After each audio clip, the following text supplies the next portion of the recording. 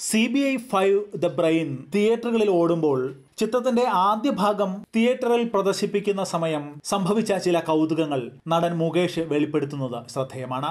ആയിരത്തി തൊള്ളായിരത്തി എൺപത്തി എട്ടിലാണ് സി ബി ഐ ഫിലിം സീരീസിലെ ആദ്യ ചിത്രം പ്രേക്ഷകർക്ക് മുന്നിലേക്ക് എത്തുന്നത്. ഒരു സി ബി ഐ ഡയറി കുറിപ്പ്. അന്ന് ഈ ചിത്രം എന്താണെന്നോ ഇതിന്റെ കഥ എന്തായിരിക്കുമെന്നോ എങ്ങനെയായിരിക്കും സിനിമയെന്നോ ഒന്നും ഒരു രൂപവും ആർക്കുമില്ല.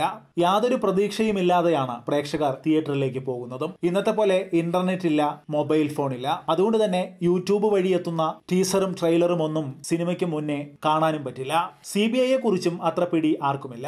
പടമിറങ്ങി ആദ്യ ദിവസം ശരാശരി മാത്രമാണ് തിയേറ്ററിൽ തിരക്ക്. സൂപ്പർ എന്ന് സിനിമ കണ്ടിറങ്ങിയവരൊക്കെ പറയാൻ തുടങ്ങിയതോടെ മൗത്ത് പബ്ലിസിറ്റിയിലൂടെ എല്ലാ ഷോയും ഹൗസ്ഫുൾ. മദ്രാസിലെ സഫയർ തിയേറ്ററിൽ ഇരുന്നൂറ്റി അൻപത് ദിവസമാണ് ഒരു സി ബി ഐ ഡയറി കുറിപ്പ് പ്രദർശിപ്പിച്ചത്. അവിടെ ചിത്രത്തിന്റെ നൂറാം ദിവസം പ്രദർശനത്തിന് ഞാൻ എന്റെ ചില സുഹൃത്തുക്കളുമായി പടം കാണാൻ പോയി. അപ്പോഴും അവിടെ സിനിമ ഹൗസ്ഫുൾ തന്നെ. ഞാനന്ന് അത്ര പ്രശസ്തനൊന്നുമല്ല. അപൂർവം ചിലർ ഒന്ന് തിരിച്ചറിഞ്ഞാലായി. അത്രമാത്രം. പക്ഷെ പടം കണ്ടിറങ്ങിയപ്പോൾ സി ബി ഐയിൽ അഭിനയിച്ച എന്നെ ചിലർ തിരിച്ചറിഞ്ഞു. എന്റെ അടുത്ത് വന്ന് സംസാരിച്ചു. ഞങ്ങൾ തമിഴ്നാട്ടുകാർക്ക് ഈ പടം അല്ലാതെ ഇഷ്ടപ്പെട്ടു എന്നും പറഞ്ഞു.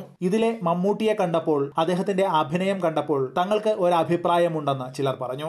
മമ്മൂട്ടി സാറിന് പെരിയ ക്രിമിനൽ മൈൻഡാണ്. അയാളുടെ കമന്റ് ഇങ്ങനെയായിരുന്നു. ഏതായാലും ആ അഭിപ്രായം കേട്ട് എനിക്ക് വലിയ ഇഷ്ടമായി. മുകേഷ് പറയുന്നു ഈ കമന്റ് കേട്ട് താൻ നേരെ അടുത്തുള്ള എസ് ടി ഡി ബൂത്തിലേക്ക് ഓടിയെന്നും മമ്മൂട്ടിയെ വിളിച്ച് ഇക്കാര്യം പറഞ്ഞു എന്നും മുകേഷ് കൂട്ടിച്ചേർക്കുന്നു. മമ്മൂട്ടിക്ക് വലിയ സന്തോഷം. ഇങ്ങനെ ഒരു കമന്റ് പറഞ്ഞപ്പോൾ നീ എന്ത് പറഞ്ഞു എന്നായി മമ്മൂട്ടിയുടെ ചോദ്യം. ഇതൊക്കെ തമിഴ്നാട്ടിൽ എങ്ങനെ അറിഞ്ഞു? എന്നാണ് താൻ ചോദിച്ചതെന്ന് മമ്മൂട്ടിയോട് മുകേഷിന്റെ മറുപടി. നീ കേരളത്തിലോട്ട് വാടാ എന്ന് മുകേഷിന് മമ്മൂക്കയുടെയും മറുപടി. മധുരിക്കുന്ന അനേകം ഓർമ്മകൾ സി ബി ഐ ഫിലിം സീരീസുമായി ബന്ധപ്പെട്ട് തനിക്കുണ്ടെന്നും മുകേഷ് കൂട്ടിച്ചേർക്കുന്നു. തമിഴ്നാട്ടിൽ ഒരു മലയാളം സിനിമ ഇരുന്നൂറ്റി അൻപത് ദിവസമൊക്കെ പ്രദർശിപ്പിക്കുക എന്നത് അന്നും ഇന്നും അപൂർവമാണെന്നും മുകേഷ് ചൂണ്ടിക്കാണിക്കുന്നു. ഈ വിഷയത്തെക്കുറിച്ച് നിങ്ങൾക്കും പ്രതികരിക്കാം. നിങ്ങളുടെ കമന്റുകൾ ഈ വീഡിയോയ്ക്ക് താഴെ രേഖപ്പെടുത്തൂ.